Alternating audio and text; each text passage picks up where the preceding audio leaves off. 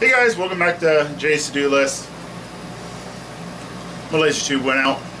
It's still kind of working, but I got to get it replaced. So I thought I'd take you along with me and I'll show you how I'm going to replace the laser tube.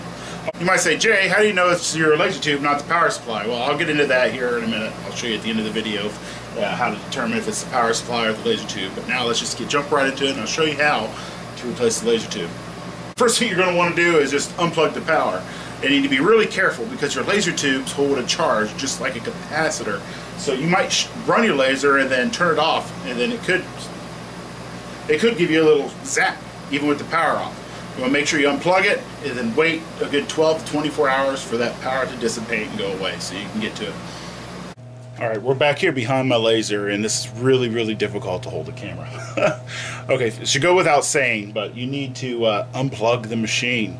There's enough electricity in these machines, if something were to happen and you get electrocuted, there's enough there to stop the heart or mess the heart up. So just unplug it, be extra safe. Okay,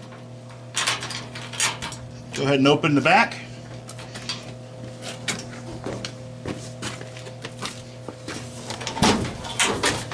expose your laser tube. Lucky enough to have a removable door.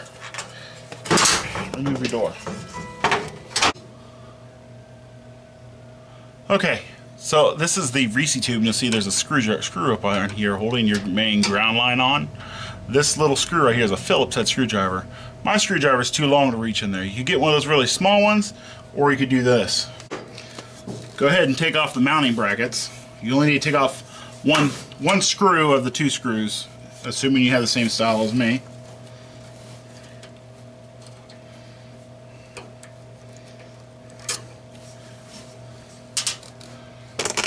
Then there's one way down here.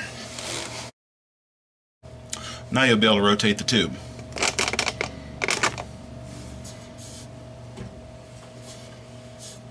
Exposing the ground line.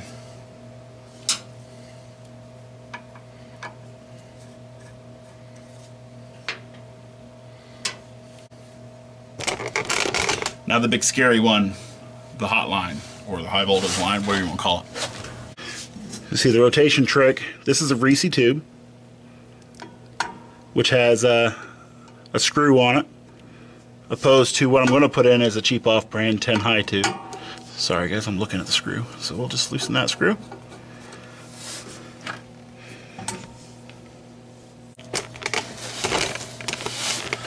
Okay, now we gotta unhook the water lines. There's gonna be about a cup of water inside your tube. You could be prepared to catch it, or you just let it leak all over the place. Should probably catch it.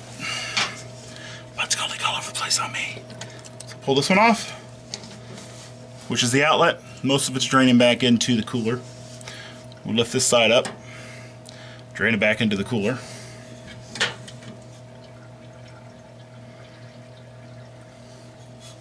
Just lifting this up. You still might lose some water, but the majority of it's going to go back into the cooler. Alright, sounds like it's done. So let's take off the uh, hose on the other side. Now just gently pull the tube out.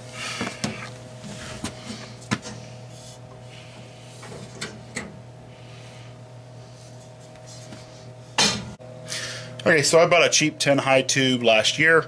I put it in, it was a little underpowered to what I'm used to, so I decided to make my backup tube. My good Reci tube is done. It's been on there for about eight months and I've got probably close to 2,000 hours on it. I'm gonna go ahead and take it out. still kind of working, but not really. And I'm gonna put this 10 high tube in, which works, but not quite as powerful as the Reci. And I ordered myself a Reci. When it gets here, I'll switch her out again. But uh, this will get me back into business. They go in a little differently than the Reci tubes, as you'll see. This is the side with the ground. That's where the laser beam comes out of. You see how nice and shimmery shiny it is. And the other side, hopefully don't drop it. These are quite expensive. I think this is about $600. It's blocked off right here. This is your high voltage terminal on a 10 high. That way. Just gently set it right back into the brackets. Gentle, because these are glass. Right. Alright, now I just want to know on the placement of this thing. You see, yeah, you can see it. So this is mirror number one, and this is your laser tube. Your laser tubes are should be the same diameter. If the same diameter, very little adjustment, if any adjustment, is going to need to be need to be made on your mirrors. They should be in alignment. If they're not in alignment, check my video up top here, and I'll show you how to put them back into alignment. But you want to take your big thumb here, slide the tube all the way up, so it's about a thumb away from the bracket and the mirror. And we'll go ahead and hook up the water line. This is the water discharge. You want this tube to be straight up and down, going down. It does, this is the hottest point of the laser. This tube going straight up and down, and it'll do a really good job keeping that cool. Okay, we'll hook the water up to this side. Okay, so these hookups are a little slightly different than the Reci. Um, I'll show you how to do that in a minute. First, we want to put the good. These don't need to be twisted the laser. Once we're done twisting the laser around, you can see this is really dirty. Once we're done twisting the laser around, we can go ahead and put these back, the mounting brackets back on.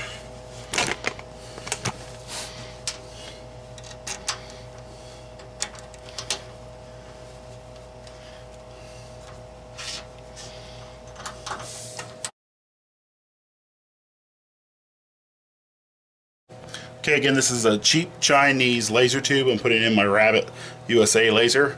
It is a 10 high brand, but most of the cheap Chinese brands install this way. I'll show you when I'm done with this how to appropriately set up a Reci tube as soon as we're done hooking this one up. So I'm gonna go ahead and start with the ground line. Okay, I'm probably gonna get a lot of crap for this, for showing this to you, but I got my ground line. These are the ground lines, not the high, uh, high voltage line and I just like to twist them.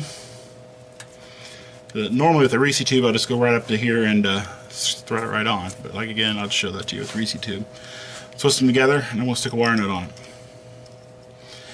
I'm switching this tube back out for a different one in about a week. So I want to be able to get it apart. This is the ground line. This is adequate. I've done a lot. I have not had an issue. I'm not saying it's completely safe, but uh, that's how I'm doing this temporary hookup now the um, high voltage line. Get yourself a piece of surgical hose. This is like 10,000 volts, guys. This is a lot. And it can arc. I've had them arc three, four, five inches away from the high voltage line. So I always take the take um, a piece of the surgical hose, slide it over, wherever it is. The surgical hose, slide it over your high voltage line before you hook it up. Okay, find your other high voltage line. This one's from the laser tube. This one's from the laser. And again, I'm temporarily hooking this up. So I'm just going to tell you what you'd want to do. I'm going to twist them together like I did the ground line.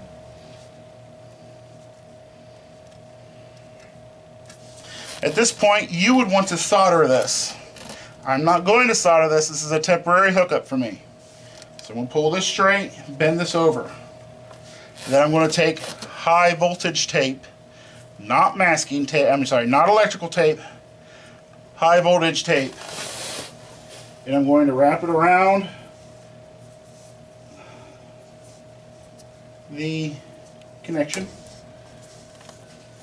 Then we're going to take the surgical hose, which you should have some of this if you run on a laser. This is the same hose you use for your coolers to hook up your water.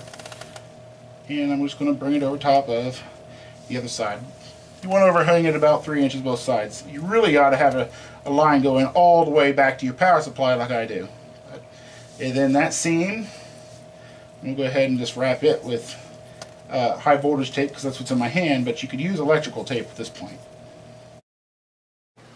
Alright, so I'm buying a Reci tube, which is actually a decent tube. At 10 high is a decent tube, but this particular one, they only go up to an 85 watt max. The Reci tube's 80 watt low, 100 watt max. Uh, that's really what I'm used to using, so that's why I do that. Uh, the 10 high is a perfectly fine tube.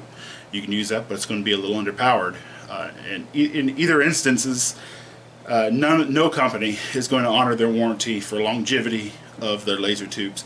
I've gone to major companies and one year warranty goes bad in three months and they I, you're going to fight them tooth and nail. The warranties are no good so just get a cheap tube and put it in and expect to get three months to a year out of your tube. You're not going to get much more than that unless you're just using this as a hobby. My Reese tube here I've ran for roughly eight months now. Let's see. I've had it for a year, so I bought it and let it set for a couple of months, or they or the company let it set for a couple of months, and then I uh, changed it out. So I'm gonna go ahead and show you how what connections you would make on the Reese Reese tube if you're gonna change it out real quick. Okay, so this is your uh, hot side. You see there's just a screw here. So you just wrap your uh, high voltage to that, and it comes with a uh, a silicone cap. So you'd want to have your surgical hose come all the way up to here they put the screw in here and then you can put the cap right on it. Like that. And then on the ground side you just put the screw in here and tighten the screw down on the wire and that's really it. Alright it's time for a test fire. Let's see if it works.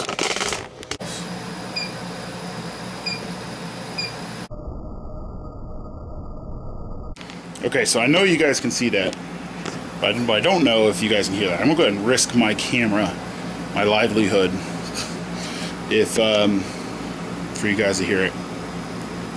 Here we go.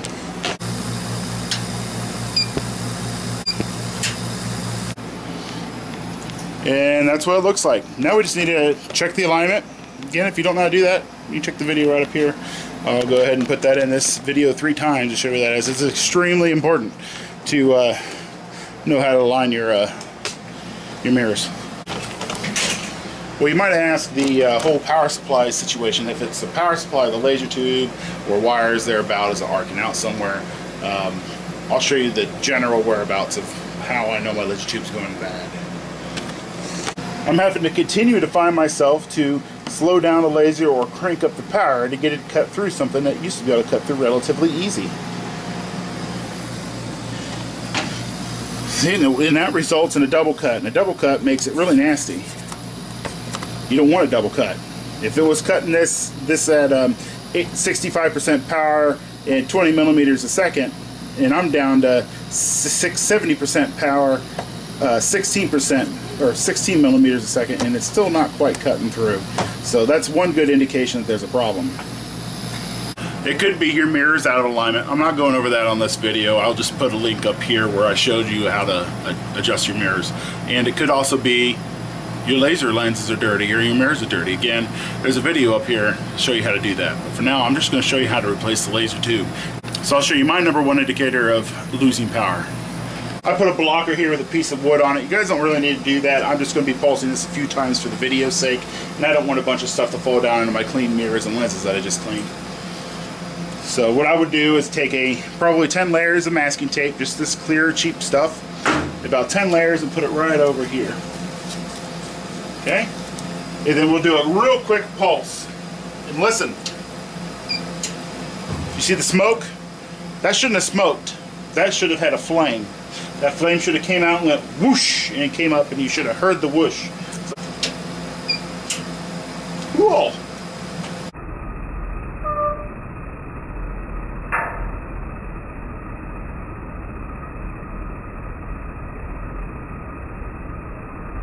I don't know if it actually got that smoke ring, but if it did, it'd be really cool to slow that down, show it to you. That's a good indication of your laser tube's going to bad if it doesn't whoosh on that masking tape. Uh, and then if you have to slow down your cuts more than normal, or if you have to heat it up more than normal on your percentage of usage of your power. Now, one of the ways is to go about if your power supply versus your laser is I like to go down the power supply have somebody pulse the power supply and you just listen you'll hear a high-pitched squeal inside your power supply. And that's arcing between the two trans the um, that's arcing between the two transformers in there and uh, that's a really good indication that it's no good. It could be doing that and it's only giving so much power out to the laser tube so it's making your laser tube come under power.